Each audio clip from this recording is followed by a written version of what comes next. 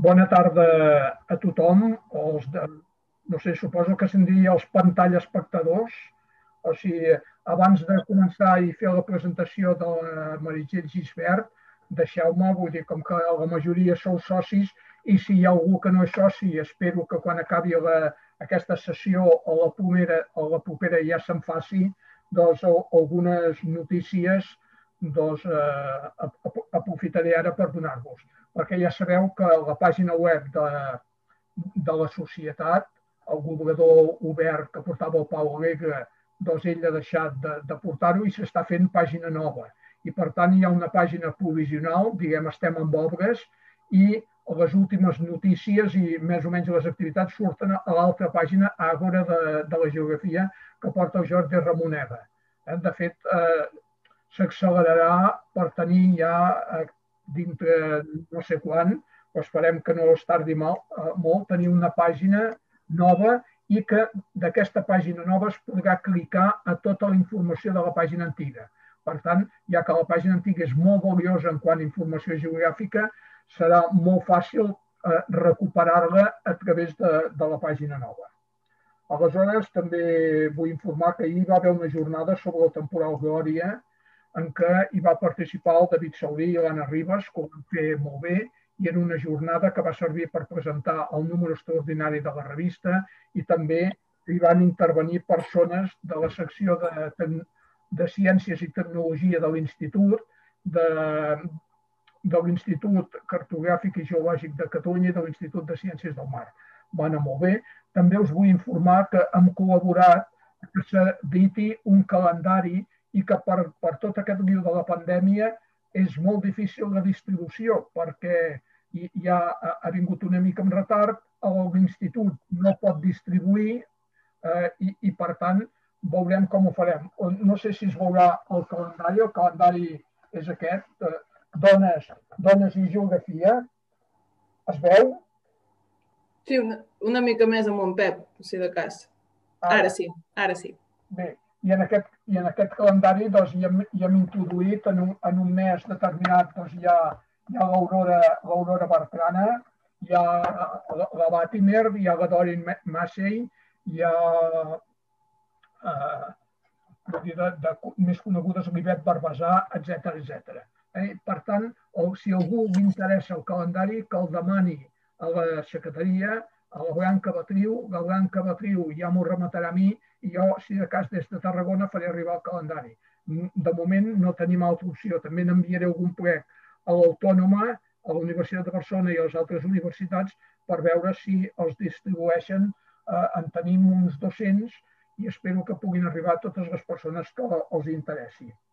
També vull informar que Horacio Capel, que és soci de la nostra societat, ha fet una important donació. Ens ha donat tota la seva correspondència, que és molt important ja dels anys eh, 60, amb personalitats de la geografia tant hispànica com eh, francesa i també anglosaxona. Eh, per tant, això eh, són 17, 17 capses de correspondència que es dipositaran eh, a l'Institut l'Institut Cartogràfic i Geològic, a la seva biblioteca, que ja ha acceptat, i quan el conveni aquest s'oficialitzi esperem fer un acte, un acte públic.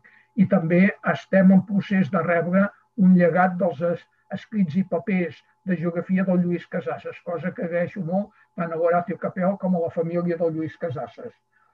També eh, que el mes de gener-febrer sempre fèiem alguna sortida d'estudi no ho podem, aquest any és molt difícil, però sí que mirarem de presentar-vos alguna excursió sortida d'estudi per mitjà de l'Easy Travel, de tal manera que amb la vostra bombolla, si voleu, pugueu fer la sortida d'estudi a l'excursió. Esperem que també en tinguem alguna de preparada.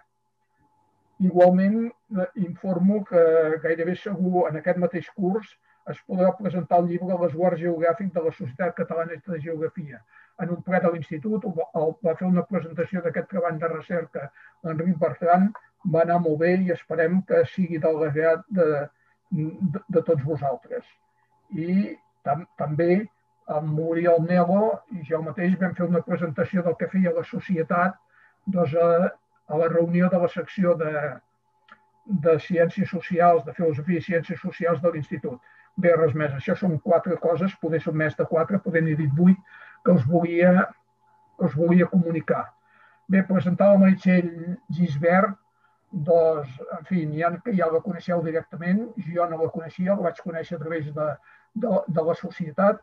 És una persona de molta vàlua, molt activa, és una persona que en el seu currículum pot posar que és puri associada, hi ha gent que fa puri treball, n'hi ha poquíssimes, Txell, i, i, i per tant és un honor. I a universitat que t'agafi t'ofereixi un ser lectora, aquesta universitat farà un tanto eh, enorme, eh? Vull dir, ruc seran els que s'ho deixin escapar. Bé, independent d'això, que ets una persona que has col·laborat molt a la societat, que jo crec que mm, ets, ets molt vàlida, ets molt ràpida, ets molt eficient i fas moltes coses, doncs ell ha fet un, la tesi, que és la seva tesi doctoral, és que el que ens presentarà avui a la cartografia i transformació del territori entre l'actiu règim i la revolució liberal dels segles XVIII-XIX i el paper de la família Soler. Aquesta tesi la va dirigir el doctor Francesc Nadal i ella ha col·laborat en moltes altres coses amb el Francesc Nadal.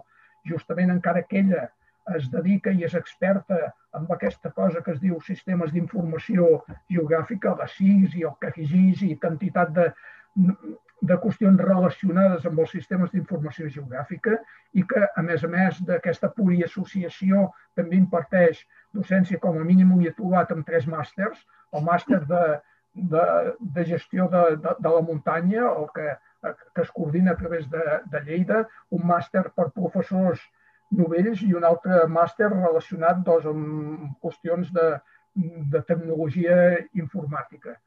Eh, bé, eh, llavors, eh, encara que té aquesta dedicació i que és una superespecialista en aquests temes, la Txell llavors té eh, sobre cartografia històrica una sèrie d'aportacions importants cartografia sobre cartografia municipal de Cardona, que hi va treballar.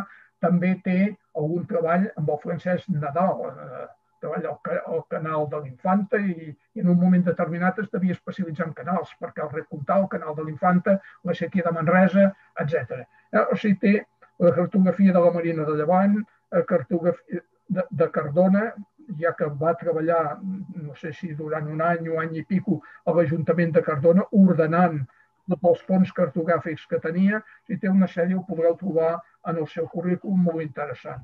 Jo no m'allargo, només dir que espero que aquesta xerrada de cartografia històrica d'una persona que, a més a més, sap molt no de la històrica, que també, però a més a més de tota la cartografia automatitzada, automàtica que es farà, doncs que eh, espero que aquesta xerrada ens compragui a tots. Després hi haurà, com és habitual, eh, col·loqui gràcies, Txell, per haver acceptat fer aquesta presentació de la teva tesi i quan vulguis jo callo i tu parles. Perfecte. Bé, doncs passo a compartir pantalla. Primer de tot, moltes gràcies, Pep, uh, per, la, per les lluances i tot. Uh, ara has deixat, m'has deixat el llistó molt alt i amb això no, no hi comptava. Però bé, eh, intentaré fer la presentació el més dinàmica possible perquè moltes vegades al parlar de cartografia històrica i tot, eh, la gent que pot dir, ostres, eh, això com tants documents i tot, doncs intentarem fer-ho el, el més àgil possible, que veieu els màxims de documents possibles. I bé, el, en primer lloc, presentar que és aquesta, aquesta tesi es va presentar el 20 de juny del, del 2017 D'acord? Uh, concretament és una tesi del Departament de Geografia de la Universitat de Barcelona que va dirigir el Francesc Nadal, que, és, um, que, és, que va ser el director de la tesi i uh, és uh, professor del, del mateix departament que acabo de comentar, i també va ser dirigida per la doctora Manuela Casti, uh, que, era, que és de la Universitat de l'Estudi di Bergamo d'Itàlia. Llavors, la tesi es titulava, i per això en aquesta presentació vaig decidir eh, mantenir el títol, perquè mm, reflecteix molt bé el, el que s'explica o el que s'intentava estudiar, que era cartografia i transformació del territori Catalunya entre l'antic règim i la revolució liberal, als segles XVIII i XIX, el paper de la família Soler. Bé, dit això, anem a parlar una mica com, com s'estructurarà aquesta presentació. En primer lloc, eh, presentaré la família, és a dir, presentaré qui són aquesta família Soler, perquè eh, és molt important entendre la família per poder arribar a entendre eh, tota la cartografia que van traçar. La cartografia que, que van traçar van ser um, un total, ara ho veurem amb més detall, però van ser un total de 150 plànols des de 1767 fins a 1859 aproximadament, però d'aquests 150 al voltant de 129 són de caire geogràfic i en aquesta presentació eh, el que vull reflectir també en la tesi és sobretot aquests que tenen aquest caire geogràfic, que són el 86% de la documentació cartogràfica que va aixecar aquesta família. Tots aquests documents es poden englobar en quatre grans tipologies, que són la tipologia hídrica, l'administrativa, la cadastral i la urbana.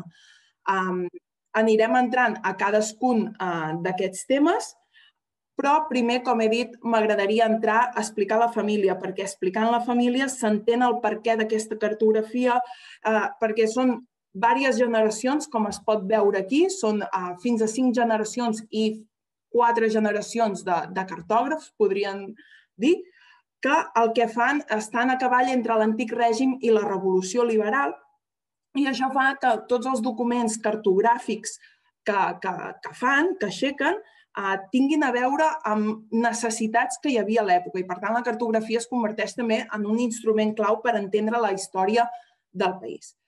Bé, anem a explicar, anem a entrar una mica amb, amb la família. És una nissaga familiar que es relaciona amb els mestres de cases a partir de 1722, quan Joan Soler, que és aquest primer membre que, que teniu aquí dalt, um, es va casar amb la filla d'un mestre de cases.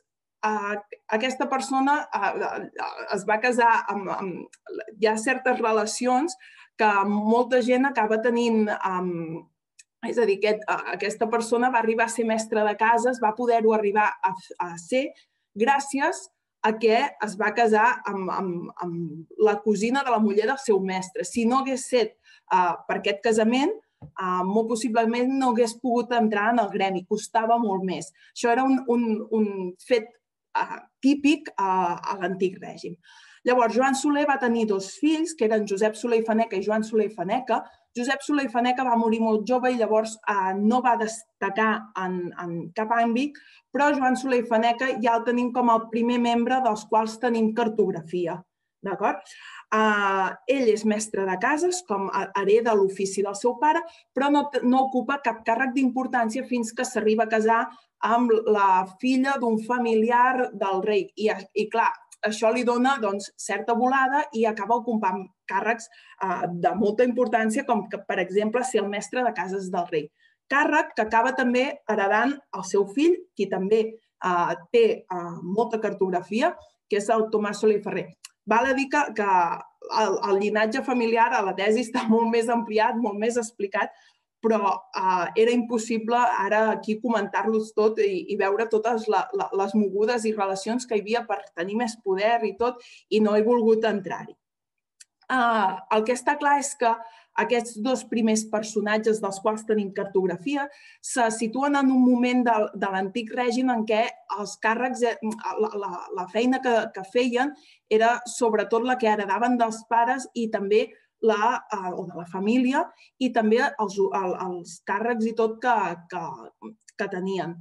Llavors, ja entrem en una altra època, que podríem dir, malgrat que ja entrem més a, la revolució liberal, aquí el tema és que, per exemple, tant Joan Soler Faneca com Tomàs Soler Ferrer ocupen càrrecs d'arquitectes, tot i no ser-ho, no tenen la titulació com a tal. Però amb la revolució liberal això es va acabar, és a dir, ningú podia ocupar càrrecs si no tenia la titulació. Per tant, ens trobem que els fills de Tomàs Soler Ferrer, Joan Soler i Mestres i Francesc de Sis Soler i Mestres ja tenen la titulació, a part de mestres de cases, també ja arriben a tenir la titulació d'arquitectes. Això què provoca? Això el que provoca és que aquí facin servir unes tècniques cartogràfiques amb unes característiques, podríem dir, doncs, de la gent que hi treballaven, amb enginyers militars o, o, o altres um, personatges, però, per exemple, uh, aquí Joan Soler i Mestres i Francesc de Sis Soler i Mestres ja tenen unes, um, ja tenen unes tècniques cartogràfiques ja més uh, adoptades uh, per les grans escoles d'arquitectura i és el que han estudiat i, per tant, es veu un canvi en la, en la tècnica cartogràfica. Bé, la família Soler, el, en quant a cartografia, finalitza amb Tomàs Soler i Linés, que és fill de Joan Soler i Mestres, uh, i aquest ja només aixeca, ara ho veurem, al voltant de dos, tres plànols. Bé, coneguda una, una mica la, la, la família i entesa que doncs, la importància d'estudiar-la perquè estan entre l'antic règim i la revolució liberal, anem a veure una mica el, el tema de la, de, de la importància de la cartografia. És a dir, des del segle XV a Europa um, havia estat molt important la cartografia perquè donava informació geogràfica del territori. Això és clar. Doncs, per tant, arriba aquí aquesta corrent i també es comença a fer molta cartografia per entendre el territori, per obtenir-ne informació. Els plànols de la família Soler, doncs, arriben a ser un instrument per analitzar l'evolució de la tècnica cartogràfica, pel motiu que hem dit, des de mitjans del segle XVIII fins a mitjans del XIX, des de 1767-1859, que és l'època que hem trobat cartografia, i a partir de mitjans del segle XVIII, la cartografia a Catalunya ja arriba a ser també un instrument eh, fonamental per la intervenció territorial i, per tant, es comencen a a, a necessitar um, moltes, uh, molta, moltes, molts experts que tracin aquesta cartografia. Pel que fa a la família, com a, a, per entendre una, una miqueta um, la quantitat de documents cartogràfics amb els que juguem, el, la, la, el personatge més important va ser Tomàs Soler i Ferrer amb 75 plànols, és a dir, quasi bé el 50% de documents cartogràfics seguit del seu fill, el Joan Soler i Mestres, amb 62 plànols, és a dir, un 40% de la cartografia familiar. És a dir, entre pare i fill, quasi bé fan, o podríem dir, fan un 90% de la cartografia que, que va traçar la família. Ja molt més allunyat tenim a Joan Soler Fanec amb 9 plànols, un 6%, a Francesc de Cis Soler i Mestres amb 5, un 3%, o Tomàs Soler i Linés només amb 3, un 2%. S'ha de dir que a la família també hi havia una part um, de... Eren, es definien molts cops com arquitectes.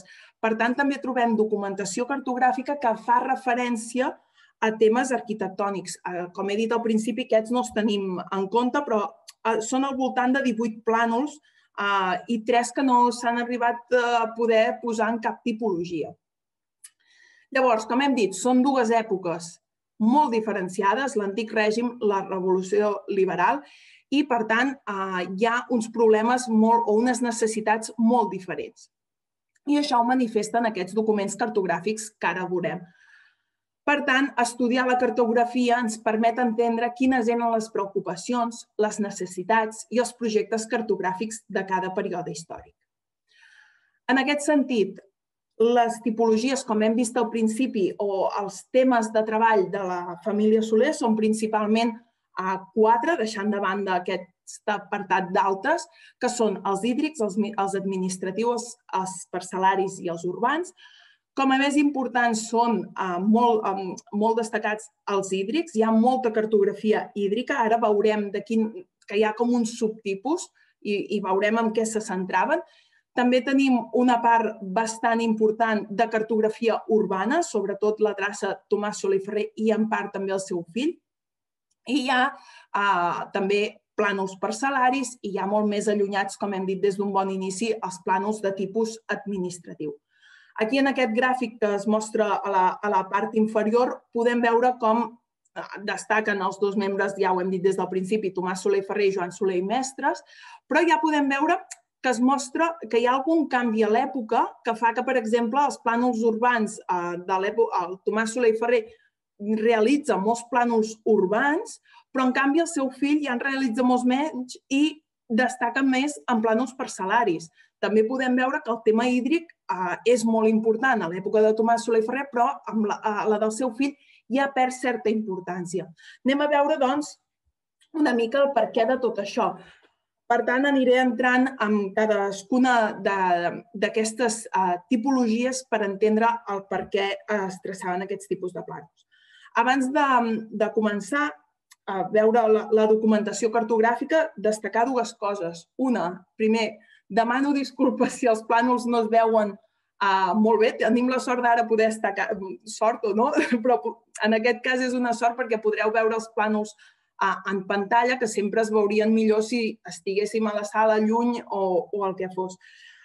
Uh, I un altre tema important és que, òbviament, uh, malgrat que la tesi va, va durar quatre anys i, i es va visitar, com podreu veure, diferents arxius, hi ha 25 plànols que no s'han arribat a localitzar mai. D'aquests 25, 16 són aquests mm, que s'haurien d'incloure dins d'aquestes topologies. Bé, uh, sempre espero alguna notícia i sempre uh, et sorprenen amb un missatge de oh, he trobat aquest document cartogràfic i bé, es va completant la col·lecció. Crec que per això uh, només no haver localitzat 16 plànols uh, es pot considerar realment uh, una cosa molt, um, molt positiva. Anem a entrar doncs, en la cartografia hídrica. Aquesta cartografia aproximadament eh, es realitza des de 1787 fins a 1852. Eh, la, la, aquesta cartografia hídrica es pot eh, agrupar en diferents subgrups. Per exemple, establiments i concessions d'aigua, els canals, obres hidràuliques, rectificació de cursos o plans d'irrigació.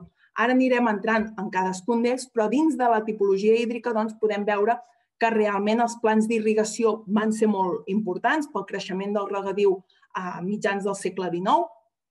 I també podem veure que el tema de les concessions d'aigua i els establiments d'aigua també era un tema eh, molt important. L'aigua era un bé molt preuat que en el seu moment estava sota domini del rei i, per tant, eh, s'havia de repartir i mm, la gent havia de demanar accés a aquesta aigua. Bé, anem entrant una miqueta en cadascun d'aquests temes. Uh, començo amb el tema de, de, amb la cartografia dels canals. En aquest sentit, s'han trobat referències, per exemple, d'un canal de Reus a Salou, del canal de la Infanta o del canal de la de, dreta del Llobregat, també del canal d'Urgell, però del canal d'Urgell sí que s'han localitzat la majoria de plànols que la família Soler i altres uh, autors van fer.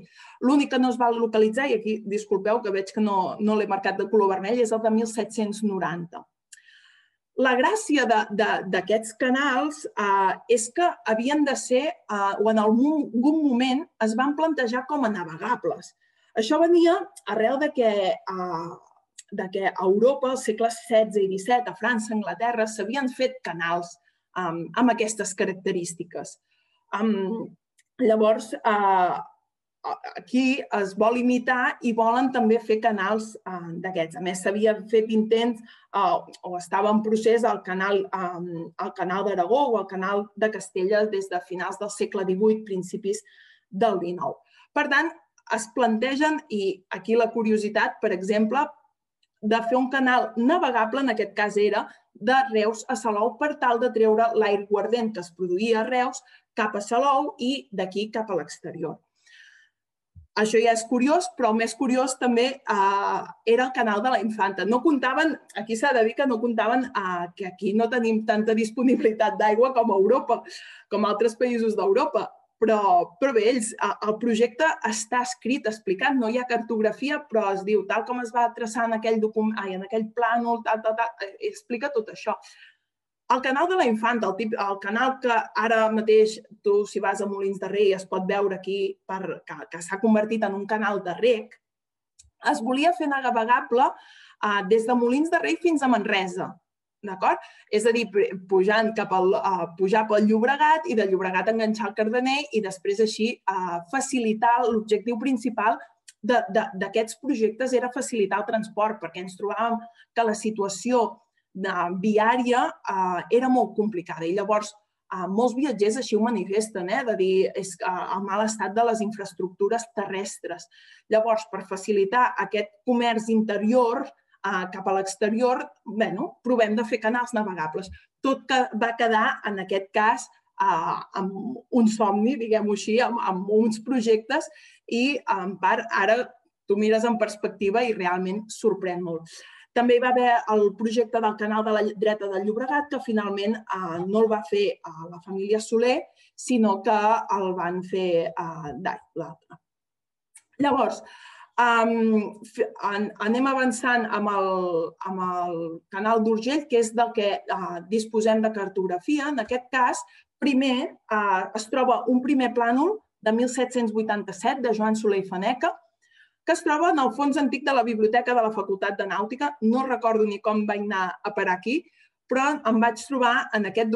No me'l van poder ni escanejar, vaig poder anar jo amb la càmera com vaig poder fer-li una foto, per això no és de la més qualitat eh, que es pugui tenir, però la idea és que plantejava ja un canal eh, que més endavant, molt més endavant, es, es faria realitat, però se'ls havia demanat com, com que eren um, mestres de cases del rei i tenint aquesta vinculació amb, amb, el, amb el rei, se'ls havia demanat que fessin el, el canal d'Urgell. D'acord? Aquest, aquest canal era sobretot, en aquest cas, per regadiu. Què va passar? Que van, va passar el temps, aquí podeu veure el plànol una mica més ampliat, però llavors va passar el temps i Tomàs Soler i Ferrer, veient altres eh, obres, va decidir projectar el canal d'Urgell com a de riego i navegació. És a dir, pretenien que el canal d'Urgell, a part de regar, s'hi pogués circular amb unes bones barques per tal de distribuir doncs, el, que es recollia o, o transportar el, el que fes falta. Òbviament, aquest projecte tampoc va tirar endavant i inclús hi ha projectes posteriors que encara mantenen aquesta part de navegació, però al cap d'uns anys ja va quedar la idea desestimada que fos almenys de navegació. En aquest projecte de Tomàs Soler Ferrer de 1815 es pot veure doncs, els dos canals, en vermell i, i en groc, ja es projectaven dos canals, i diferents sèquies per regar les terres més interiors. L'altre tema important, una vegada, clar, amb el ferrocarril, tota aquesta febre de, de fer canals de navegació va acabar, però sí que era important de fer canals de rec per uh, cobrir tota la demanda de regadiu que hi havia. Uh, llavors, cap, això passa més o menys cap a la dècada de 1830 i què passa? Que comença a haver-hi molta demanda d'aigua i, per tant, el que s'ha de fer és repartir-la. Mm, calcular bé quanta terra té cadascú i saber quina quantitat jo puc aprofitar uh, d'aigua. D'acord? Llavors, es fan uns plans d'irrigació. Aquests plans d'irrigació a Catalunya ja des del segle XVIII se n'havien uh, fet d'aquest estil o a Holanda o a Europa Occidental des del segle XVII. Perdó. Llavors, se'n van fer diversos, però podem veure de Sant Andreu de Llavaneres, el de Pla de Barcelona, el de Badalona, però, tam però també se'n van fer, aquests no tenim cartografia, no s'ha arribat a localitzar, s'ha trobat referenciat en, en documentació escrita, però no s'ha trobat el document eh, que fa referència. Sí que se n'ha trobat, i ara els veurem, de la Riera d'Argentona, del Rec Comtal o del Canal de la Infanta. Anem a veure ara una mica aquesta cartografia i aquí, per exemple, tenim un, un document que és, podria, és una minuta de treball de Tomàs Soler i Ferrer de 1817 per fer el uh, repartiment d'aigües um, d'Argentona. Aquest document, com podem veure, és una minuta de treball en que principalment estan dibuixades les parcel·les amb certs amidaments, certes anotacions, i llavors el document eh, final que se'n treu, a l'anterior està a l'arxiu gràfic de l'Escola Tècnica i Superior d'Arquitectura i en canvi aquest està a l'arxiu de la Corona d'Aragó. En aquest cas, eh, com es pot veure, el, no es veu massa bé, però el, dins de cada parcel·la hi ha una numeració que això remet a un llibret. Aquest llibret diu el número de parcel·la, qui és el propietari quins dies pot regar i quina quantitat d'aigua pot utilitzar. D'acord? Per tant, es distribuïa així bé i a ningú li faltava aigua encara que estigués a la part inferior de, de la riera o al final del curs o el que, o el que fos. Era una manera perquè, si no, eh, hi havia moltes usurpacions d'aigua i molta problemàtica entorn a tot això. I, per tant, aquesta època va requerir que es fessin aquest tipus eh, de document. Bé, Uh, dit això, uh, podem veure també, i això ho veurem més, amb més detall en el següent pla d'irrigació del rec comtal, que a les terres se'ls dona un color. Aquest color es va arribar a deduir que uh, venia a ser en funció de, del tipus de cultiu que tenien. Però no hi ha cap document que expliqui. El color verd és això, el color groc, mm, no hi ha cap document. Però sí que amb el plànol del rec comtal, que és aquest que, que veieu a continuació, vam poder fer una aproximació a partir de documentació escrita i documentació eh, posterior d'usos del sol i es va poder arribar a saber quin tipus de cultiu eh, hi havia a cada, a cada parcel·la. Eh, si més no, una aproximació. En aquest cas, en el rec comtal, doncs, també es fa un pla d'un pla de rec per repartir tota l'aigua del rec comtal amb, amb, entre tots els propietaris que hi havia. Uh, I el mateix, doncs, té una numeració a la parcel·la que remet a un llibret annex amb totes les, amb totes les característiques o tots els, els amidaments de les parcel·les, la quantitat d'aigua que podrien agafar, etc. Aquest eh, document, perquè si no seria molt gran per fer-lo més detallat possible, es va fer amb 10 fulls. Per tant, són 10 documents eh, que, que podem anar veient en detall totes les terres regades pel rec comtal i veure doncs, eh, com, com es regaven. Aquí Uh, com ha dit el Pep al principi al presentar-me, jo sobretot tinc la part més de, de l'únic que la tesi la vam orientar més cap a la part de cartografia històrica, que ja hi havia treballat, però vaig voler introduir una part i, i aquest um, és el plànol que vaig fer en el seu moment, uh, perquè ara no l'he no, no tornat a fer i uh, segurament milloraria moltes coses, però Uh, però es tracta d'un plànol molt detallat en el que es va fer va ser digitalitzar tota aquesta informació, es va uh, primer compilar tots els fulls en un, és a dir, els 10 fulls dels plànols de rec del rec comtal es va posar en un únic full per tal d'això més o menys poder-ho referenciar, cosa que no va donar massa bons fruits perquè, clar, tenim moltes poques referències, però que sí que ens va, se'ns va poder, eh, o vam poder detallar va ser el nombre d'edificacions que hi havia, on se situaven, el nombre de basses, etc. En aquest sentit, aquí ara passem a veure el plànol de la, dels recs que hi havia, de totes les canalitzacions que hi havia per fer arribar l'aigua als diferents propietaris. Davant d'això, amb aquesta cartografia així digitalitzada, vam poder arribar a saber que el, la, la major superfície regada era el terme municipal de les hores de Sant Martí de Provençals. A continuació teníem Sant Andreu i ja més enllà a les terres de, de Barcelona. Aquí és l'aproximació de cultius que us dic que eh, es podria haver fet també amb el d'Argentona, però, clar, mm, aquí es van començar a buscar quina relació hi havia als colors amb altres plànols que teníem, amb els cultius, es va començar a buscar informació escrita i a partir d'aquí es va poder fer més o menys una aproximació, una aproximació que era que, per exemple, un, el color verd es, uh, era cereal, per tant, un 63% de les terres de, regades pel rec comtal eren cereals, al cànem n'hi havia un, al voltant d'un 19%, no arribava, però quasi podríem dir un 19%, i mentre que un 14% eren els prats d'indianes. Realment, quan ho, ho contrarrestem, uh, bueno, o ho mirem en perspectiva, bé, té la seva lògica que realment uh, els colors fossin així. Tot i això hi ha colors com el, el, aquest morat o un altre color que ni s'ha arribat a identificar pels anys que té el document quin era, però bé, ens fem una idea de, de per, on va el, per on van les coses. Un altre pla d'irrigació que es va fer va ser per repartir l'aigua, en aquest cas va ser uh, en el cas del canal de la Infanta. En aquest cas són, uh, si no m'equivoco ara, 12 planos, que es van fer alguns a 1837, que són el primer, el segon i el tercer, em sembla, que els va fer Tomàs Soler i Ferrer, però després tota la resta de col·lecció la va fer Joan Soler i Mestres.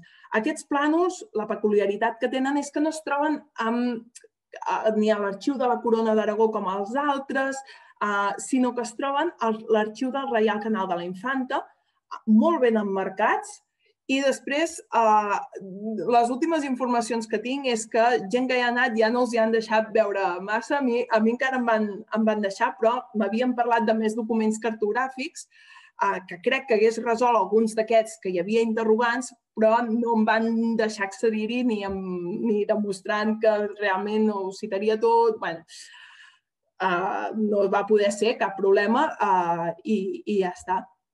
En aquest sentit, doncs, la tècnica és la mateixa, doncs, pintar les terres d'un color amb el seu número i després això, tot això remet a un document annex. Bé, anem a parlar del tema de les concessions d'aigua, de per què hem parlat dels canals, dels plans d'irrigació, per què hi ha tants documents cartogràfics sobre establiments i concessions d'aigua. Doncs bé, el tema és que l'aigua durant, um, durant l'època de l'antic règim i això estava sota el domini eminent del monarca, és a dir, qui tenia el poder, el control de l'aigua era el monarca. Llavors, si una persona volia tenir-hi accés, havia de demanar permís al monarca. D'acord? Havia de dir que, que volia sol·licitar doncs, accés a l'aigua per regar aquestes terres i llavors el, el rei el que feia era enviar-hi una persona de confiança perquè ho validés que aquella concessió era factible, era fàcil i es podia fer sense problema. Llavors, eh, si, si el, el resultat era favorable d'aquest home de confiança, doncs el rei procedia a fer la concessió o l'establiment d'aigua sempre i quan el propietari pagués el seu, el seu cens anual. Què va passar?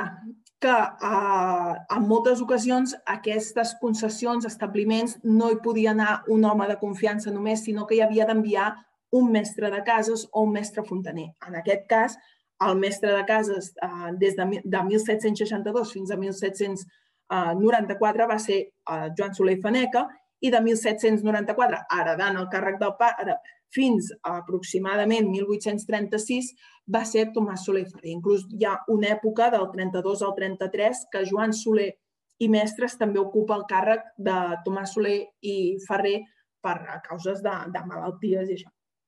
I clar, és per aquest motiu que dins de l'arxiu de la Corona d'Aragó, concretament a l'apartat de Reial Patrimoni, trobem tanta cartografia de la família Soler en aquest àmbit.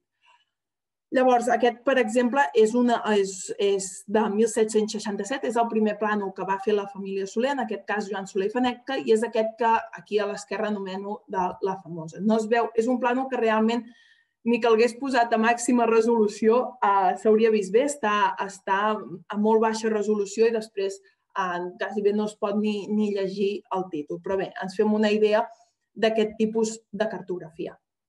Un altre tipus de cartografia que van portar a terme van ser obres hidràuliques. El fet de ser, doncs això, mestres de cases del rei, havien d'assistir a certes obres hidràuliques que s'havien de fer. Per exemple, en el riu Ebre, la zona de Flix, eh, que hi ha un, un, hi ha un meandre molt, molt gran, eh, s'havia d'intentar que la resclosa, sovint s'havia de, de refer l'assut que hi havia, la resclosa que hi havia, perquè eh, aquesta, resclosa hi era per frenar l'aigua, eh, per facilitar-ne la navegació pel riu. Llavors, eh, hi ha, um, són diversos uh, professionals, enginyers militars, uh, etc que hi van treballar, i mestres de cases, i en aquest cas el Soler també hi van treballar. Aquest, per exemple, és un dels plànols que hi ha d'aquesta reconstrucció de la, de la resclosa, de, de l'assut de Flix, perquè el que passava és que amb, amb pujades d'aigua o amb crescudes d'aigua eh, s'enduia aquesta, aquesta, aquesta sud i llavors, clar, era necessari reconstruir-lo.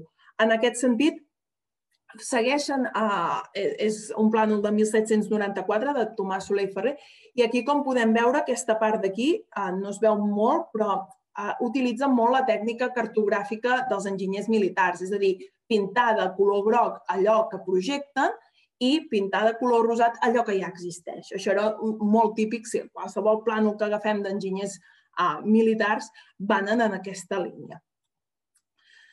Bé, l'assut de Flix és un cas, aquest n'és un altre, el tema de mines d'aigua, que està molt relacionat amb els establiments i concessions, i, per exemple, aquest és un projecte de modificació del traçat de la mina d'en Casalí, que és a Sabadell i es troba a l'Arxiu Històric de Sabadell, és a, a de 1807, és principalment un esbós, però l'he posat sobretot perquè també tinguem una idea de, de la disparitat de llocs que van de Catalunya que van arribar a anar a, per fer cartografia, ja sigui hídrica o d'altres.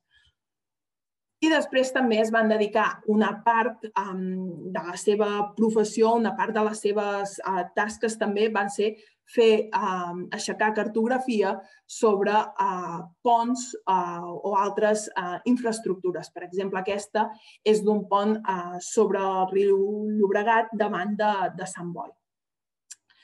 Bé, i finalment, l'últim tipus de cartografia, ja us dic, eh, la cartografia hídrica, com he dit des d'un principi, era la més extensa, i un altre tipus de cartografia que, abans, que van fer va ser la de 1821, en aquest cas eh, destinada a rectificar a cursos de rius.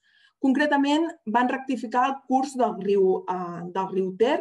El tema és que el riu Ter, també ja hi havien treballat molts enginyers militars i segurament d'aquí que el 1821 Tomàs Soler i Ferrer adoptés un altre cop la tècnica dels enginyers militars per representar allò que es projecta. I el tema era que el, el, aquest tram del riu Ter tenia molts meandres i llavors el que provocava és que amb les crescudes d'aigua s'inundessin cultius o zones que, on hi vivia gent. Per tal de solucionar això, es va demanar que es fes uh, un traçat del, del riu Ter que s'encabís de manera més rectilínia i que s'evités um, aquests desbordaments d'aigua en aquests punts. Doncs ells, com a, com a mestres de cases del rei, també hi van treballar. Bé, fins ara aquí hem vist una mica tota la cartografia hídrica, que és una de les, de les més extenses.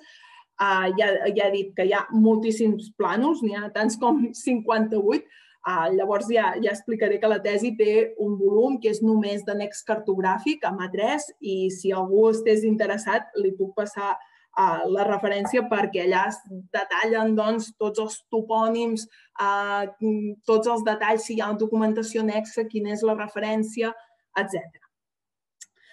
Dit això, els, el, la família Soler també va tenir un petit, un, una petita part d'aixecaments cartogràfics en cartografia administrativa.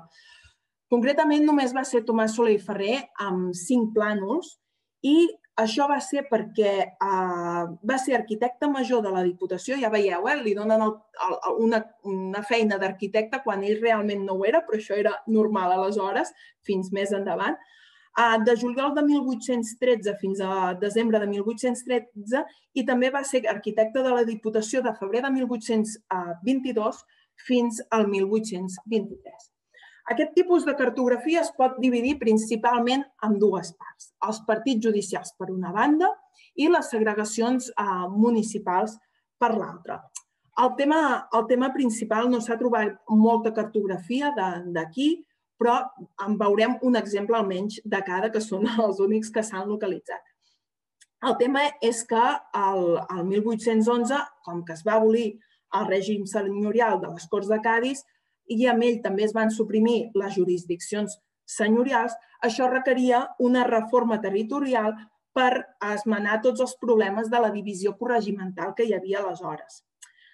Al final, els liberals eh, el que volien era tenir més control sobre el territori, una administració territorial més racional que la que hi havia a l'antic règim, no tenir disfuncionalitats entre ciutats, d'acord? I per això intenten eh, encarregar aquests plànols, en aquest cas, a l'arquitecte major de la Diputació, que era Tomàs Soler Ferrer.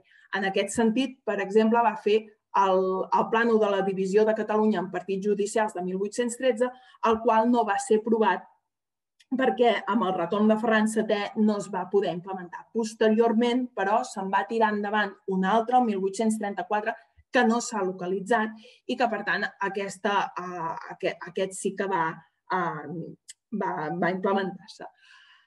Pel que fa a les segregacions municipals, la situació és similar um, es necessitava una reorganització municipal perquè la de l'antic règim la definien com a, i llegeixo uh, així tal qual, anàrquica, desigual um, i ineficaç. Llavors, uh, es permeten doncs, uh, fer uh, certes segregacions municipals amb l'objectiu de mm, dividir el territori, equilibrar-lo i que tot quedi més ben repartit. En aquest sentit, trobem doncs, aquest plànol, que és Uh, primer us mostro la de segregacions municipals del terme de, de tallar uh, a l'ella i al Masnou i podem veure uh, que és un plànol, uh, és de 1822, de Tomàs Soler i Ferrer, es troba a l'arxiu de la Corona d'Aragó, i és un plànol de treball, ja es pot veure per les anotacions i el mode aquest esquemàtic uh, que té, però es veu clarament la subdivisió dels tres termes. Posteriorment, al mateix any, i també en l'arxiu de la Corona d'Aragó, podem trobar aquest altre plànol en el que ja està molt més eh, definit tota, les, mm, tota la divisió i ja és el document final que es va presentar. De 1813 a 1800 i 1834 trobem aquests plànols de partits judicials. Només, com he dit, hem trobat el de 1813, que concretament està a l'arxiu de la Biblioteca de, de Montserrat. Ja podeu veure la diversitat d'arxius eh, en la que hi ha els documents. En aquest sentit, aquest document mm, té una informació anexa que el que ve a, dona nom a cada partit judicial i diu cada poble a quina distància està de la seva capital o de la seva ciutat eh, més important. I llavors, d'aquesta manera, eh, s'estudia aquest equilibri que, que es volia. Bé, aquest és eh, un dels altres documents cartogràfics. Ja he dit que la, el tema administratiu era, era molt, um, molt poc significatiu, però no és menys important que la resta. Bé, i entrem amb el, amb el tema cadastral. El tema cadastral es, dura molt pocs anys, és de 1849 a 1852. La família Soler traça 28 plànols, principalment aquí ja sí que té eh, joc Joan Soler i Mestres.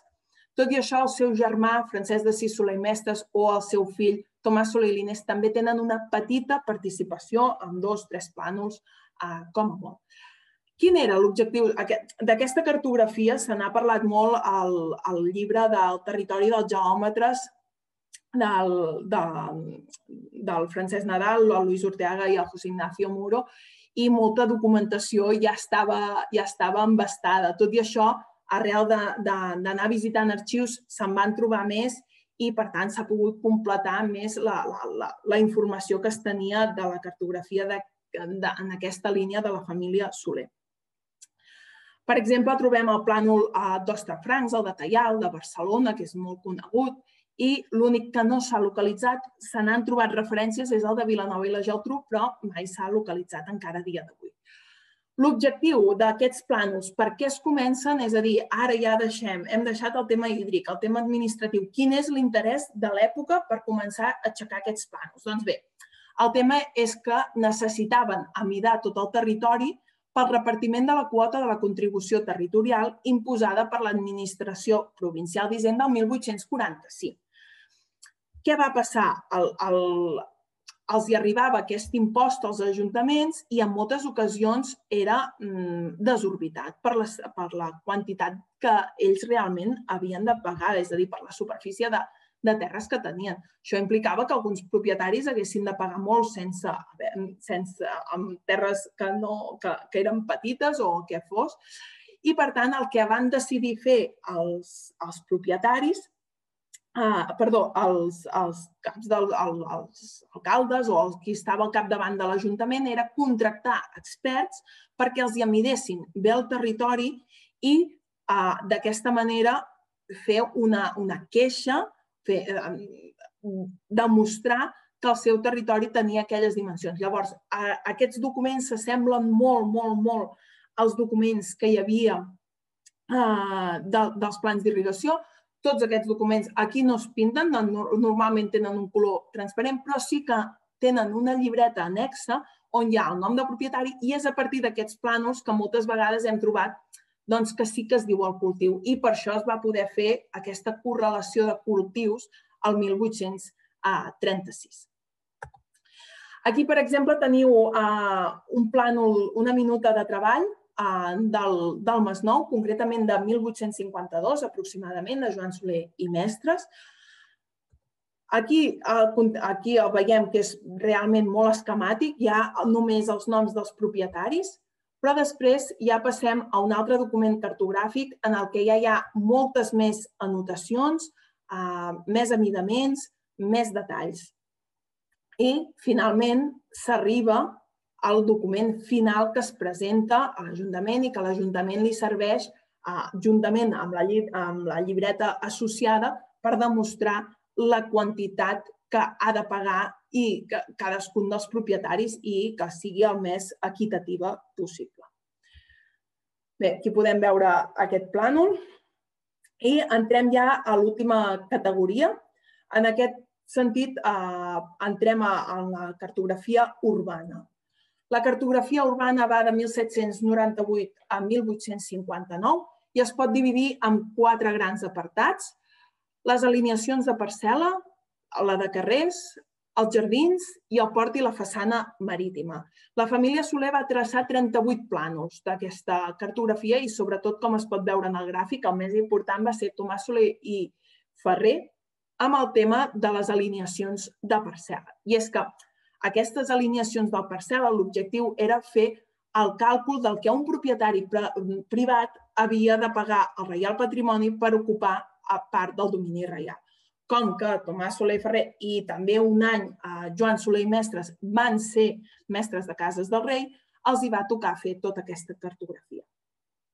Una altra cartografia eren les alineacions de carrers. No n'hi ha gaires, però sí que s'ha trobat algun document en el que es parla de l'obertura de carrers eh, i això ve degut a que a mitjans del segle XIX, eh, degut a, unes instruccions, a una legislació, eh, es demanaven doncs, que els carrers fossin més amples, més higiènics, més ventilats, etc. Es, demanava, es, es pautava d'aquesta manera.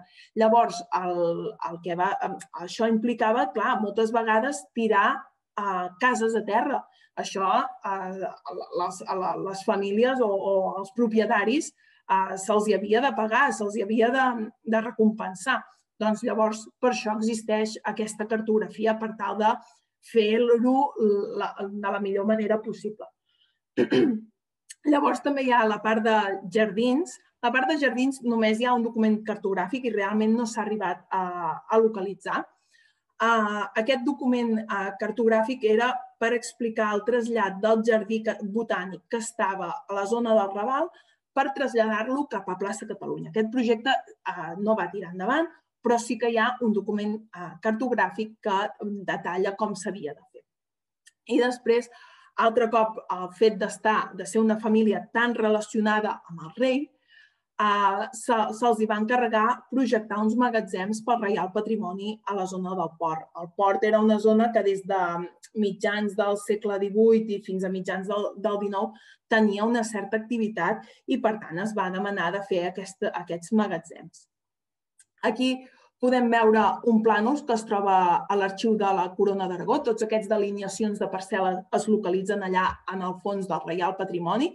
Aquest és de 1800, de Tomàs Soler Ferrer, i es pot veure doncs, tots els propietaris i eh, s'explica llavors en un document annex la, la, la, la petició que fa per um, ocupar una part de, del que era propietat del rei. El que era propietat del rei era de, ho marcaven de color groc, el que era propietat privada era de color aquest um, vermellós rosat. Les alineacions de carrers, ja dic que n'hi havia poquetes, però tenim aquesta de 1800 que es troba a l'arxiu de la Diputació de Barcelona, en el que es vol obrir uns carrers eh, en una zona en concret de Barcelona i, per tant, s'ha de fer la cartografia per evitar perquè hi hagi els menors danys possibles en les edificacions i que no s'hagi de pagar tampoc en accés als propietaris afectats. Aquí veiem el plànol, uh, perdoneu perquè ja us dic aquí el color um, és la màxima resolució que tinc de la documentació. I bé, aquí tenim el plànol que es troba a l'arxiu uh, històric del Col·legi d'Arquitectes de Barcelona, en el que el 1850 Joan Soler i Mestres va traçar aquests magatzems pel Reial Patrimoni. Aquí ja podem veure que, malgrat que sigui coses que estan projectant i tot, abans es feia servir allò que dèiem, el color groc pel que es projecta, aquí ja eh, ells que tenen una formació ja més, més de l'escola, més d'arquitectes, ja no utilitzen a, aquestes, aquesta nomenclatura, podríem dir, o aquesta manera de, de treballar que els seus eh, antecessors sí que havien eh, utilitzat. I bé, aquest és del, del Jardí Botànic. En aquest cas, el que us deia, no s'ha trobat, eh, no trobat el plànol original. Aquest és una còpia de l'Atlas de, de Barcelona Uh, però l'arxiu uh, real d'aquest document seria l'arxiu gràfic de, uh, on hauria d'estar, però mm, tot i demanar-ho i molt amablement atendre'ns, no el vam arribar a localitzar uh, mai. Bé, aquí teniu aquest plànol més detallat. I bé, això ha estat una visió molt, molt ràpida per, per el 100, una part dels 150 documents que té la família Soler, però ens ha donat una idea de la importància d'haver estudiat aquesta família entre l'antic règim i la revolució liberal. S'ha vist els diferents tipus de cartografia que s'anaven generant en funció dels interessos territorials que hi havia i també eh, com va anar evolucionant eh, la tècnica cartogràfica. Bé, dono pas a si hi ha preguntes, dubtes. Moltes gràcies a tots i gràcies als, a la societat per la invitació. Moltes gràcies, Txell. Eh, després d'haver-nos explicat tots aquests plànols que feien aquesta família de, del Soler i entrem a, veure si hi ha alguna pregunta. Jo d'entrada te'n faré alguna. A veure, parles d'arquitectes i arquitectes, l'Escola d'Arquitectura de Barcelona es va fundar el 1875. Abans no, eh, no hi havia títols d'arquitectura els títols, eh, la primera escola on es podia estudiar arquitectura va ser a Llotja, a l'escola de, de Llotja, per allà el 1806 o 1807, amb un tal Celles, se li va encarregar de que fes una aula i que expliqués arquitectura, però tot el títol d'arquitectura anava regulat per la Reial Acadèmia de Sant Fernando. Però no els únics, eh? i a Barcelona, fins al 1850, l'Acadèmia de, de Belles Arts de, de Sant Jorge, que era el títol oficial, podies pedir el títol oficial de mestre d'obres. Mm. Mestres d'obres que es consideraven arquitectes. Per tant, m'imagino que quan tu parles de tenir ja títol, et referies, si un cas, al títol de mestre d'obres que donava l'Escola de, de Belles Arts de Sant Jorge. Eh? dir... La de Sant Jorge, exacte. Sí, sí, més vaig seguir tot el llistat d'alumnes i els vaig arribar a trobar. Al tanto amb aquestes...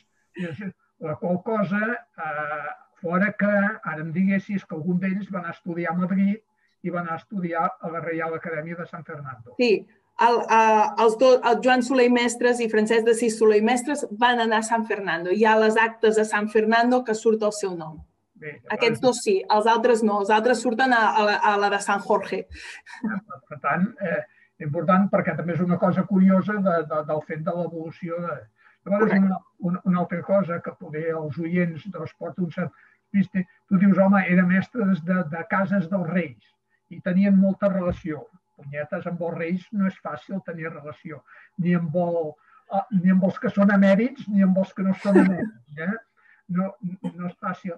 Aleshores, m'imagino, a veure, tot això anava al Reial Patrimoni, a la Reial Baiolia, m'imagino que aquesta família devia estar molt lligada doncs, a l'intendent o, o, o a la classe burocràtica de, de l'antic règim de Barcelona. Mm, eh? No pas que tinguessin una estreta relació amb Madrid i amb la Casa Reial. No, tant, tant no, però el, el tema és que uh, dins dels vincles familiars, a la tesi això ho detallo més, uh, Joan Soler Faneca es va casar amb la filla d'un, uh, ara no ho recordo, eh, que, però era la filla d'un no sé què de Girona que tenia molt bon vincle amb el rei. I, bueno. i llavors, per aquest motiu, va acabar uh, ja ficant. Ja sabem que les Espanyes, los amigos sí. dels amigos, doncs Exacte. per ser important, eh? però vull dir que no són relacions molt directes, sinó famílies que s'estableixen, vull dir, a l'antic règim, i amb el règim igual, vull dir, a l'administració i s'aposenten a l'administració. Llavors, una altra cosa que et volia demanar és, i tu saps si el primer Joan Soler hi era de Barcelona o és una família que procedia de, de, de l'interior d'algun altre lloc? Sí, um, si, no uh, si no ho recordo malament, uh, ara aquesta dada, la, la, la, però em sona que venien de Lleida, va venir cap a Barcelona. em sona, eh? Ara això uh, no, no ho hauria de revisar, però, però l'origen és que ell van venir aquí a, a, a estudiar, per dir una manera, o a fer de mestre de cases. Hauria d'acabar d'ubicar-ho, però em sona que anava cap aquí la cosa. Però ja et dic, eh? ara, ara no ho recordo al 100% i potser m'estic equivocant. Llavors, ja veus que quan, quan has estudiat els canals, les concessions d'aigües també hi figuren? Què no. vols dir? Les... O sigui, quan hi ha el canal, si un es vol fer un establiment, en el rec Comtal, per exemple, sortia doncs, que hi, hi tenies eh, ressenyats els prats d'indianes. Sí. Eh? També sí. estaven ressenyats els molins? Els molins també hi eren, sí. També hi eren. Amb sí. el propietari dels molins? Sí. Per tant, sí. Eh? El, el in, canal... In... Vale, vale. Sí, inclús, la, la, això no ho he dit per ja no entrar en tant detall, uh, Tomàs Soler Ferrer i Joan Soler i Mestres van arribar a ser administradors dels molins reials. Uh, L'únic que després, uh, documentació que llegia, uh, hi va haver algun problema de calarons i de cop van desaparèixer d'aquest càrrec. Ja. Molt bé, molt bé. Gràcies. Gràcies. Si hi ha més preguntes, tinc una pregunta. Sí, N'hi ha una al, al xat, eh? O sigui, sí, sí la, la Maria Dolors em sembla que vol demanar alguna cosa. Sí. Sí. Maria Dolors. Sí. Uh, jo volia preguntar a la Meritxell. Primer, m'ha agradat molt la teva exposició. T'expliques molt bé. Jo Gràcies. Et coneixia, sí, sí, jo et coneixia amb la vessant dels sistemes d'informació geogràfica i la veritat és que m'he quedat molt sorpresa i m'ha agradat molt. Eh? eh? T'expliques molt bé. Mira, la meva pregunta és per una, un tema que has tocat al principi de la teva exposició que m'ha cridat l'atenció, que és el canal aquest d'aigua que hi havia entre Reus i Salou i era per l'exportació de l'aiguardent, suposo que era allò que eh, s'exportava cap als holandesos i que llavors eh, per estar fora de Tarragona. Però la meva pregunta és, si tu has vist el, el, el, el plano, d'on treien l'aigua, d'on provenia l'aigua d'aquest canal? Ho saps? L'únic plànol uh, que, que, que he trobat, uh, jo primer el vaig relacionar uh, i el vaig presentar a la tesi sí. uh, com, com el plànol de la família Soler però llavors el tribunal de, de la tesi em va afirmar que no era de l'època aquella i, per tant, sí que hi ha un petit document uh, que, si vols, te'l puc passar sense cap problema perquè el, el, el tinc. Em sembla que inclús surt en algun llibre i això. No recordo exactament d'on treien l'aigua. Mm, Vale, vale. Bueno, jo és que, bueno, com que conec una mica la zona, m'ha fet molt... He pensat que, no sé, a veure què passava amb el sí. de l'aigua. Si vols, et miraré, perquè ja et dic, al final aquest pla no el vam desestimar, però sí que hi ha un petit document que explica una mica com, com en, d'on entrava l'aigua, fins on anava, des d'on sortia el canal. I clar, a més volia ser navegable. Jo entenc que, que clar, clar l'aigua allà jo crec que no, tanta no n'hi havia. Per això, Llavors... el Pep Oliveres, ara hi penso. Pep, tu ho saps, pot ser, no? Oh, sí, jo aquest plano en tinc una còpia de, de, ah, del plano, és un plano ben fet, però hi havia, hi havia realment un problema que era aquest tema de l'aigua. Uh, no es podien, no es podia nodrir, no es podia nodrir de, vale. d'aigua, sigui que, uh, perquè s'havien de refiar si de cas hi havia el, de poder fer alguna derivació d'aigües, de, de rieres, vale, de, vale de torrents, es va començar, el, el canal es va començar, sí. però eh, es va iniciar, però i es va veure impossible, s'hi van gastar diners, però eh, va servir per donar feina a gent que havia quedat sense feina i en moment de la guerra del francès ja va quedar totalment eh, Però formava part de la idea que no volien anar pel port de, de Barcelona. Sempre Reus va tenir tendència a quedar-se amb Salou i que Salou fos el seu port i que fins i tot Salou fos del municipi de Reus mm. per poder tenir port propi. I no només es portaven aiguardent, sinó, per exemple, les avellanes. Sí, uh, també. Avellanes de, ja uh, s'exportaven des del petit port de, de Salou. Bé, és sí, Reus, París, Londres, no? Sí, sí. Exacte, de llavors bé. Eh? Molt ja, ja. bé. Gràcies. Sí, ja... Gràcies.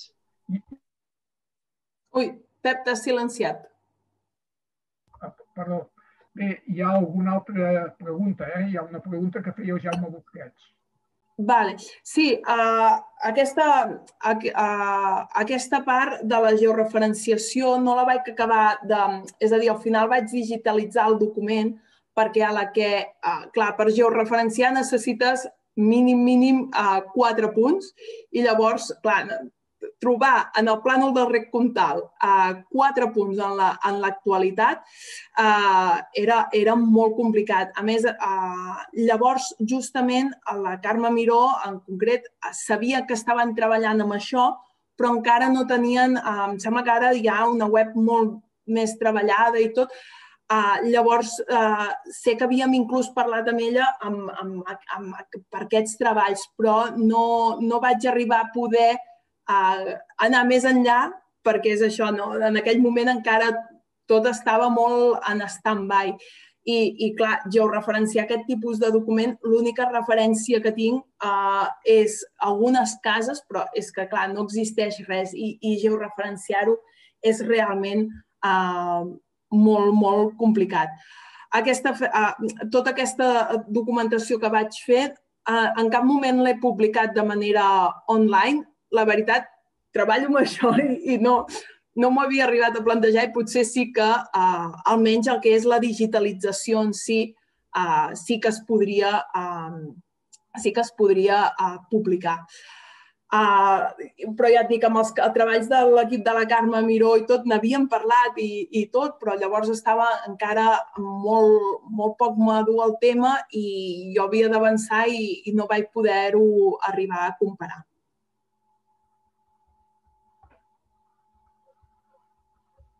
No sé si hi ha, hi ha més preguntes. Sí, jo tinc una pregunta per la Meritxell, també.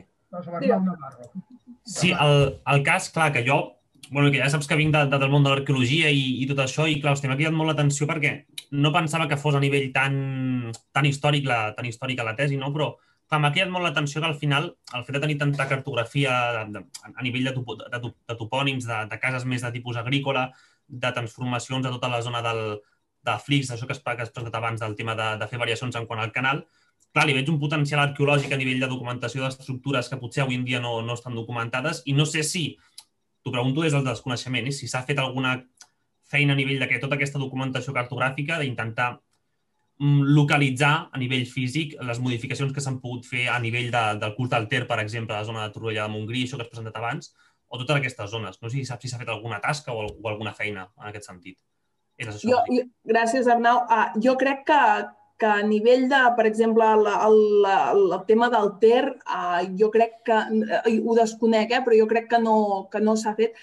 El tema del rec comtal sí que està molt, molt, molt treballat i allà sí que uh, tota aquesta documentació inclús uh, inclús m'estan, eh, l'he publicat en, el, en algun lloc i m'estan insistint que, que publiqui la tesi i és un tema pendent quan tingui hores, però, però uh, en aquest treball que deien el, el, de la Carme Miró i tots, que hi ha una part, crec, de tota aquesta explotació de, del rec comtal.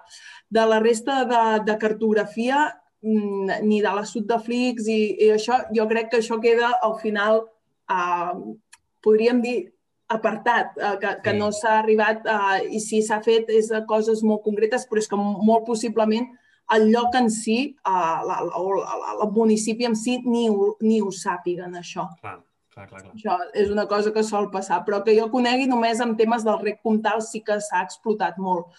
Canal de la Infanta una mica, però no, no al nivell del rec comtal. El rec comtal és el que tenen més ben estudiat, més estan, bueno, dibuixant-lo tot, estan mm, sí, exposant-lo sí, molt. conec una mica el projecte. Vale. Perfecte, gràcies, Arnau. Merci. Tens una altra pregunta que et fa Rafael Jiménez a través del xat. Vale. Uh... Sí, demana si tens vale. referència de tots els treballs sí. realitzats per la família. Sí, tinc una llista uh, en, en, la, en la tesi, en aquest document annex que tinc. Uh, fins i tot els que no estan localitzats també tinc un llistat eh, en aquest document annex a la tesi, hi ha tot aquest llistat eh, localitzats o no, i inclús diria eh, que, que en el seu moment també vaig fer la llista dels arquitectònics per si de cas, de dir, bueno, no sé si ho posaré, en principi no, però jo els tinc aquí. Um, I llavors, clar, tot, tot aquest, tot, tota aquesta documentació que no s'ha localitzat, jo espero que algun dia es pugui localitzar i acabar de completar aquests 16 plànols que em quedaven, que era com, bueno, ja, ja ho tinc. Uh, I llavors, sí, sí, sí, realment a l'annex cartogràfic, que és això que deia, aquest A3 de 300 pàgines on s'analitza la, la toponímia, tot, llavors allà sí que al principi hi ha per autor eh, el tema i el plànol, per autor el, el tema i el plànol. Hi ha, hi ha una mica eh, tota, tota aquesta documentació. I com he anat obtenint la, la, les referències a, a base de, de picar portes, una part de llegir documents, una part també, òbviament, el Francesc Nadal és un pou de ciència en, en aquest àmbit i em va ajudar moltíssim perquè em trucava Meritxell, he anat a no sé quin arxiu i he trobat això i em passava ja la foto, em passava la referència i, i això també va facilitar uh, molt la feina. Doncs, I al final era, bueno, vas a, a la Biblioteca de Catalunya, saps que allà hi ha algun document, d'aquella època perquè has llegit alguna cosa o va actuar o va fer això mm, per, per la Junta de Comerç o què sigui, en el cas del, del, del canal d'Urgell, i comences a llegir documents i allà et va dient tota la informació i vas llistant-los. Va, vaig treballar una mica així uh, i, per exemple, per resoldre tots els vincles familiars, això també va, va ser bueno, uh, moltes hores, crec que em vaig tirar un mes o dos sencers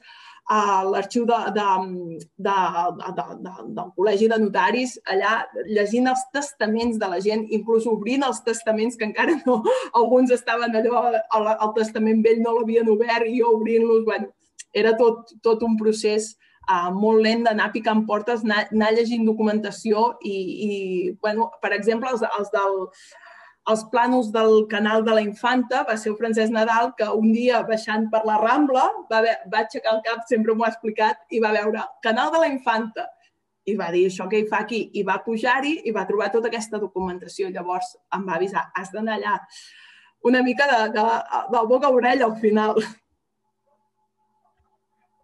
Tens, tens una altra pregunta de la Maria Àngels Trèmols que sí. te l'ha de fer, per tant, te la farà oralment. Ah, perfecte. Diferents felicitacions, eh? De, de ah. persones que et feliciten per la xerrada. Perfecte, gràcies. Àngels. Txell, Txell, primer te felicito, indubtablement. Gràcies. Moltes, moltes gràcies per aportar-nos a llum a la cartografia històrica. I després tinc una curiositat, com que veig que has estudiat molt profundament la família i en, en general, eh, volia saber una mica quin, amb quins recursos humans comptaven per fer aquesta feina i també els recursos tecnològics. La veritat, això és un tema que, que la tesi eh, va quedar pendent o, diguem-ho així, es va buscar i no es va arribar a, a trobar mai eh, que, què feien servir. Sí que ho podíem arribar a deduir per quan llegíem els testaments. Per què? Uh, deixo la taula de dibuix al meu fill tal, i llavors sí que podíem fer un buidatge del que deixava o, o del que tenien. Perquè com més coses tenien, també més riquesa, volia dir més riquesa. Però en això no, no ens vam dedicar a buidar els testaments uh, en aquesta línia i, per tant, no, no hi ha cap document que expliciti que dir, uh, fem aquest plànol d'aquesta manera. Això no s'ha trobat cap document, L'únic que es podria fer una deducció amb aquests documents que hi ha de, de, de ja ho dic, de, de, de, del, dels testaments. Això per una banda. I llavors, en quant a gent, jo crec que anaven ells sols i poc més. Per la simple... La, la reflexió que faig aquesta és perquè inclús t'expliquen en el canal de, de, de en aquest plànol de 1789 eh, del canal d'Urgell, Quan tu llegeixes els treballs, doncs uh, es fa aquest amidament, es fa l'altre, no sé què, de cop s'atura i vas a un altre document i explica que de tal any a tal any s'ha hagut de parar l'obra. Per què? Perquè feia molt fred, uh, i el, el, el qui feia el plànol, en aquest cas Joan Soler i Fanec, el qui estava mirant, uh, s'havia posat malalt i, per tant, havien de suprimir temporalment uh, els treballs. Però mai tampoc expliciten quanta gent hi treballava, però com que, clar, si un es posava malalt semblava que, que el món parés. Llavors jo crec que, que una mica anaven bastant ells sols a, a fer-ho per, per aquestes referències, perquè i, i inclús hi ha una època que Tomàs Soler Ferrer també està malalt, s'explica que del 32 al 30, i és el seu fill qui el substitueix i el seu fill qui acaba fent en aquell any els treballs del seu pare. I no explica mai res de, de, dels súbdits, podríem dir. Val. Per tant, em sap greu no, no acabar-te de, de respondre, no, no. però... No, no, moltes gràcies, només era curiositat. Perquè Sí, no. era una feina, diguéssim, molt treballada i ingent que els que ens, ens hem dedicat a la cartografia sabem el que costa ara, però sobretot el que costava en aquell moment. Sí, el, el, també el, el, el tema és que mm, suposo que tampoc els agradava fer-ho públic. Clar, era una cosa que passava molt de pares a fills, almenys a l'antic règim, la, la, la tècnica i tot. I llavors eh, jo crec que per això tampoc la manera com treballaven amb qui tal i tot eh, no ho explicaven. Sí que en ocasions es troba que van amb, amb enginyers militars i això sí que amb l'Escofet, per exemple, es troben referències de amb Joan d'Escofet tal, i, i es troben eh, certes referències en aquest sentit puntuals, però la tècnica i tot que feien servir és a partir de l'observació que podem fer dels plànols i, i res més. I amb el tema de, del, de tot el, el, el que tenien, buidant els testaments ho, es podria saber. I ara ja els vaig cobrir tots, és a dir, que es podria saber, saber tot, perquè vaig necessitar permisos i tot per veure tot l'aixubar que tenien. Doncs moltes gràcies, Meritxell. Gràcies, Maria Àngels. Enhorabona. Tens una altra pregunta de l'Enric Bertran, que està Sí. interessat per la localització del mapa d'Ostafrancs del 1848. Sí, um, uh, Goita, Enric, si et sembla, uh, jo m'ho apunto això perquè el, uh, diria la signatura, l'arxiu i tot. Uh, si no recordo malament, el d'Ostrafrancs estava a l'arxiu de gràfics de l'Escola Tècnica Superior d'Arquitectura, si no ho recordo malament. Eh? Tot i això, et passaré la signatura exacta i tot uh, per si t'interessa anar-lo a, a consultar. D'acord? Ja m'ho apunto i demà mateix o, o ara quan acabem ja, ja tu, et passo la referència exacta perquè et sigui més fàcil localitzar-ho. Bé, no, no sé si hi ha cap més pregunta. De moment no en veig cap més. Al xat tampoc, fora d'algunes altres felicitacions que t'han fet.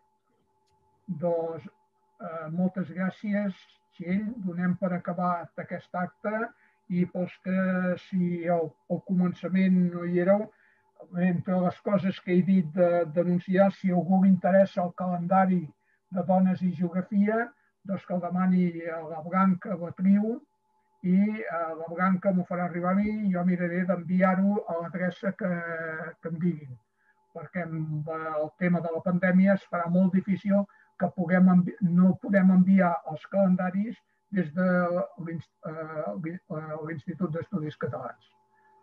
Molt bé, encara tens felicitacions per la presentació. No, agrair a, a tots, que la, la majoria són eh, coneguts, agrair a tots a, haver vingut i, i haver-me escoltat durant 40 minuts, havia calculat més o menys. Molt bé, doncs moltes gràcies, Txell, i fins a la propera sessió, que si no recordo malament és l'11 de febrer i que serà el, el professor Xavier Úbeda que ens parlarà sobre el tema d'incendis forestals. No recordo ara el títol exacte, però serà aquest i ja s'anunciarà oportunament com, com solem fer nosaltres. Moltes gràcies a tots. Adéu-siau.